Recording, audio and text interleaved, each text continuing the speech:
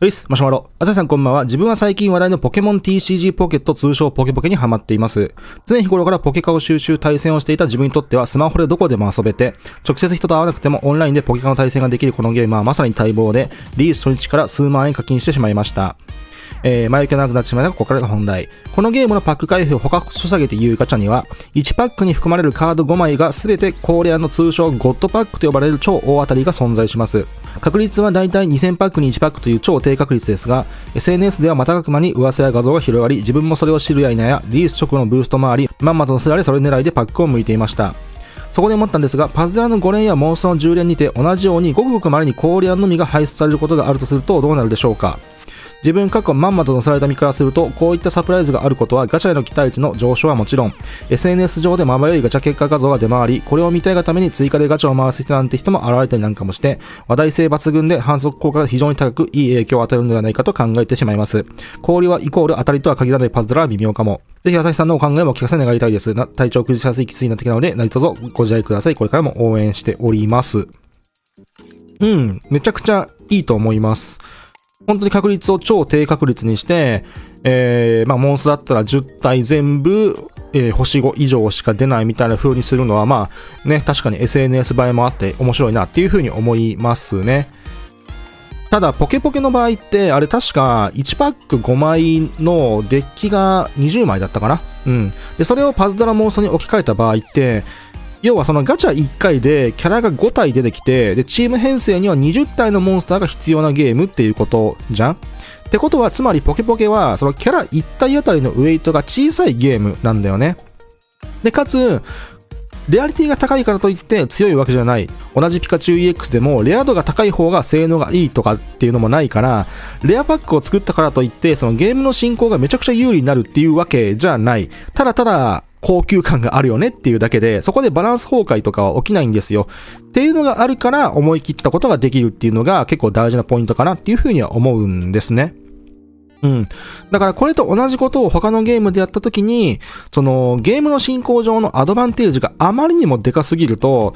それのせいでやっぱユーザー間でちょっとこう不公平感を招く時もあると。まあ、パズドラの場合だったらね、あの魔法石8、お80ガチャとかさ、あの無料100連ゴッドベスとかが結構炎上したのってそこら辺が理由の一つとしてあるわけじゃん。だから本当にただに闇雲にやれば面白くなるっていうこととも限らないから、そこのバランスっていうのはね、かなり慎重に決めないといけないなっていうふうには思いますね。うん。まあ、モンストだったらできるかな。まあその環境にさほど影響を与えない工場の星5以上のガチャ源が、まあたくさんいると思うから、まあ星4が全部それらに置き換わって、プラスあと対象のね、限定1個確定ぐらいだったら、まあ全然やれそうかなっていうふうには思うね。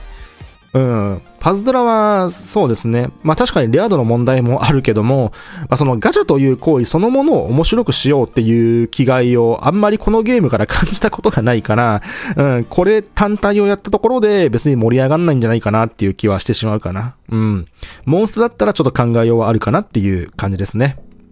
はい、っていう感じです。次。こんにちは。いつも楽しく配信視聴させていただいています。朝日さんはすごく言語化が上手なので、ぜひこの悩みについて教えていただきたいのです。私は人に話を上手に振ることができません。えー自分から絡みに行こうという時に何を話せばいいかわからなくなってしまうのです。会話の始める回数が自分と友人とでアンバランスになってしまい申し訳なく感じます。もし意識していることがあれば教えていただきたいです。これからも活動を楽しみにしています。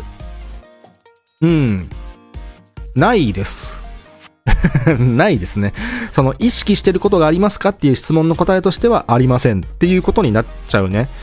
あのーまあ、他人とかさ、その仕事上での会話だったらまだしも、対等な関係のね、その友人に対してうまく話しかけられないっていうのは、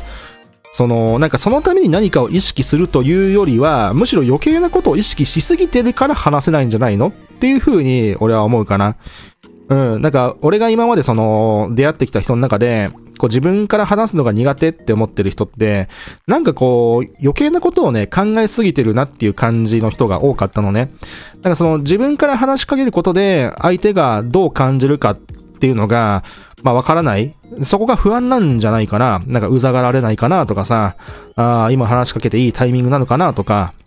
うん。で、その会話の中で、えー、なんか自分がね、こう、傷つけたくないとか、えー、空気読もうとしすぎて何もできなくなってるとかね。うん。で、あとその、まあ人によってはその過去にね、その友達との会話でちょっとこう、失敗した経験があって、まあそれがトラウマでなかなか話を聞き出せないっていう風になってる人も、まあいましたね。うん。まあいろいろあると思うんだけど、でも、なんか、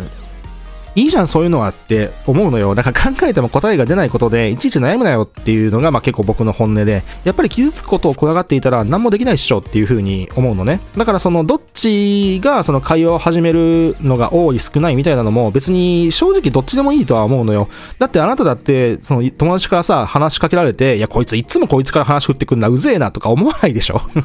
むしろありがたいじゃんうん。そこでさ、なんだろうな、アンバランスになってるっていうことを別に気にする必要はないと思うし、それでお互いに楽しく会話できてるんだったら何も問題ないと思うんですよ。うん。そのバランスのいい関係って何もその、お互いのね、会話量が均等であることを言うとは限らないんよ。片方がたくさん喋って、もう片方は軽く相槌するだけ、みたいな。でもそれで、お互いが居心地よく会話ができるんだったらいいっていうパターンもあると思うからさ。うん。っていう感じで僕は基本的には全然気にしなくていいのかなっていうふうに思っていて、ただそれでも、どうしてもね、こう申し訳なさを感じてしまうっていうんだったら、えー、多分会話デッキ不足だね。自分から話しかけるためのデッキっていうのはやっぱある程度は必要だから、ってなったら、まあデッキ増やせばいいじゃん。で、ちなみに僕は、元気？っていつも聞いてますね。その人の関係値にあんまりこだわらずに、元気？って、あの、いつも聞いてます。で、元気ないってもし言われたらさ、じゃあどうしたのって聞いてそこから会話できるし、逆にまあ元気だよって帰ってきたら、いや実は最近俺ちょっと元気なくてさ、って返す。あの、これは元気があっても元気ないって返す。嘘つく。そしたら相手からどうしたのっていう風に聞いてくるじゃん。で、そっから自分の話したいことを話すっていうね。いや、最近モンストがくっそ炎上しててさ、っていう風に やりますね。はい。っていう感じで、えー結構ね、話を広げたりしてますね。はい。なんか参考になれば幸いです。次。いつも動画とかありがとうございます。今回、浅井さんにお聞きしたいのは、トレンドでも大きく話題になっていた超究極ケツデーレについてです。こちらご存知かと思いますが、オーブを使用して挑戦できるクエストです。私の記憶では、オーブを使用して挑戦権を得られるシステムは、新重新曲以来ではないかと思います。さて本題に入ります。このクエストを初めて見たとき、非常に面白いと感じました。その理由は主に2つあります。1つ目の理由は、ワクワクのみや運極ボーナス以外の方法で経験値に手こ入れがされたからです。例えばパズラーではかなり前からサレーネをはじめとした経験値キャラが実装されていますが、モンストではこれが初めての試みです。今後神殿や重心玉などにも同様の手こりがあるのではないかと期待しています。2つ目の理由は、チケットをまとめて使うことで集会の手間を簡略化できるからです。以前の超究極祭では日ごとのボーナスが設定されており、その日を逃すと最大6周分多く周回する必要がある仕様で非常に面倒でした。しかし今回は毎日チケットを購入していれば、週末にチケットを5枚消費して1、2回プレイするだけで済むため、負担がかなり軽減されています。加えて1日1回限定とはいえオーブ1個で購入できるため、無課金でも無理なく作成でき、経験値稼ぎがしたい課金者にとってはいち早く作って効果を実感できる点もとてもいいと思いました。以上の理由からこのクエストを肯定的に見ていたのですが、ニュースやトレンドで大炎上しているのを見て少し驚きました。朝日さんは今回の件についてどのようにお考えでしょうか？最近急に寒くなってきましたので、どうかお体に気をつけてお過ごしください。長文失礼いたしました。まあ、この件についての雑感はですね、まあ、以前の動画とか、まあ、配信でもね、結構話したと思うので、基本はそちらを、え見てほしいんですけれども、うん、そうですね、まあ、このマシュマロの内容に沿ったところで言うなら、この、あなたが面白いと感じた、この、えー経験値手こ入れっていうのと、あとは集会の簡略化、これらを魅力としたイベントを打ち出すのであれば、別にオーブ使わせる必要なくないですか？負けて没収する意味もなくないですか？いつも通りスタミナ消費する形で、これらの面白い魅力あるとされる条件を満たすイベントって作れますよね？それでよくない？っていう話なんですよ。あのー基本的にソシャゲっていうのは最初にまず遊んでみてから、いや、これ面白いな、もっと遊びたいなとか、えーもっと難しいところ勝ちたいなっていうことで、オーブを購入させるっていうスタイルじゃない。だけど、その遊ぶために最初からオーブ必要ですよ、入場料取りますよっていうのは、まあ、なんていうかこう、基本無料の前提を覆してることになってしまうのね。っていうかまあそう捉えられても仕方ないと思うんよ。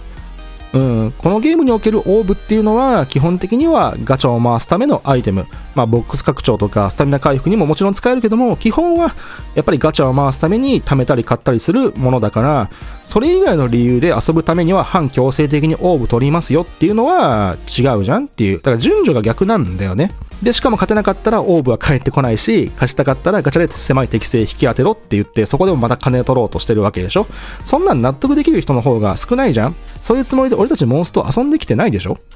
うん。もちろん新しいことにはどんどん挑戦してほしいと思うし、捧げとして国内トップシェアを走りながらも、それに怒らず挑戦をね、続ける姿勢っていうのが、まあ長年評価されてきたと思うんだけど、